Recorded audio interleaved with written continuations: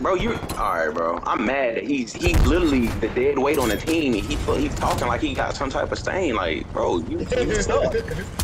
You're dead weight right now, bro. Stop talking like that, bro. Oh shit!